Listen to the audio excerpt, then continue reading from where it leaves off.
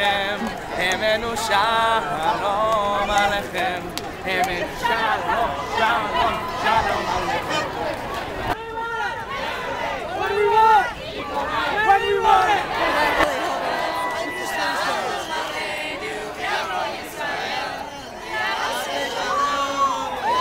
שלום, יעשה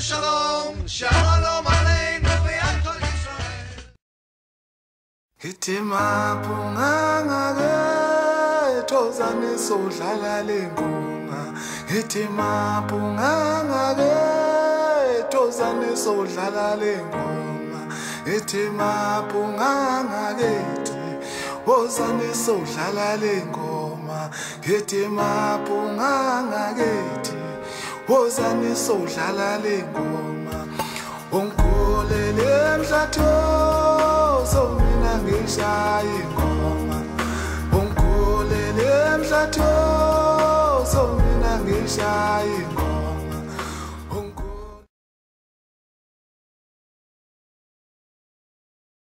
It is crucial.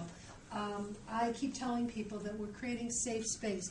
We want all people to feel included in, in what we call our human race. And we also want to save lives. There are people out there that are struggling, and, and uh, it, it's, it's time for us to do something. So thank you, Kesh. to build a Metro Detroit Safe Schools and Supportive Communities program that will transform Jewish life. Modest goal. Um, so, um, so those are those are our goals for this evening.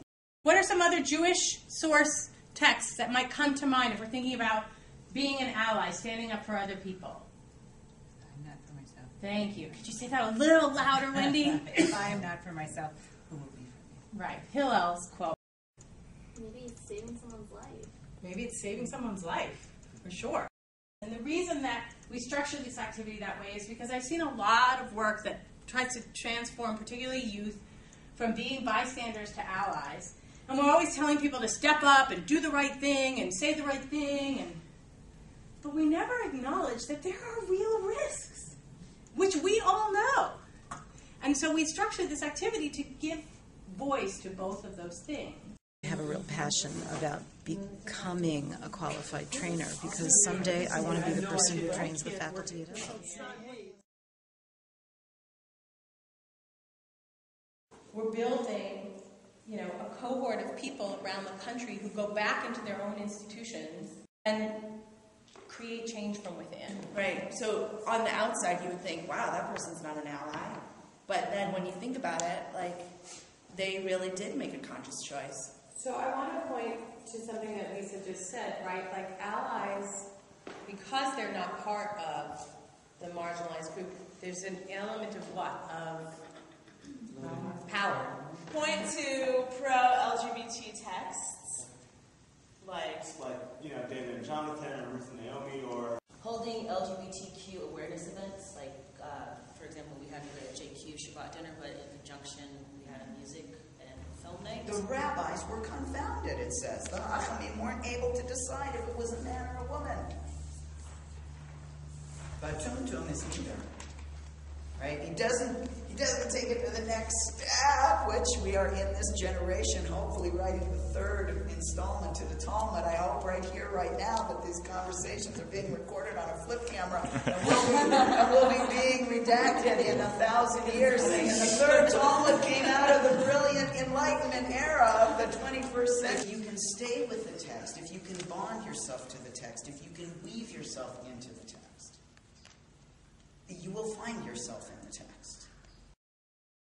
in the moment when you're faced with hostile reactions, sometimes the best um, technique is for you to just sit back and breathe and see who in the audience um, s- speaks up. I am reluctant to respond because it might jeopardize my career, whatever I say to these children.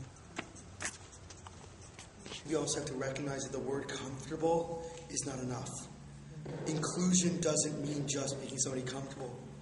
And it also doesn't mean we have some programs for you and some are not. Because would any of us be okay if they said, yeah, this program's going to be gay friendly, but this one, yeah, it kind of be a little homophobic, so you can go to the other one. I'm Zoe Pinter. I go to the Frankel Jewish Academy and I'm a senior.